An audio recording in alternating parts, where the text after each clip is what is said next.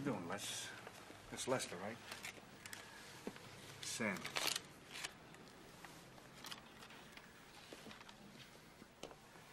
From my recollection, aren't you the card shark? The golf hustler? The pimp from Beverly Hills? If I'm wrong, please correct me, because I never knew you to be a heist man. But if you are, you know what? Here, take mine too. Ahead, take it, because you already have hers.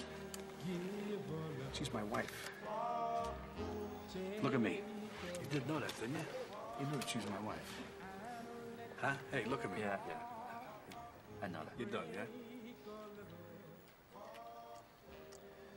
If you ever come back again, ever, to take her money, next time bring a pistol. That way you got a chance.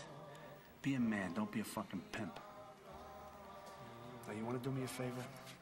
Get out of here. I want to be alone with my wife. Get the fuck up and get out of here. and you want to be free. Why you feel that you're too good, much too good for a nobody like me. Fucking piece of shit. That's fucking me to the bullshit. in your side. Well, darling, I guess it's best that we should part. But how soon you forget the fine, fine things. Remember when we called him that night when we said goodbye to him? He didn't say, don't get married, I'll be right down, we'll get married. He didn't say that to you, did he? No, he didn't. Did he? No, instead, what did he say? Fuck him.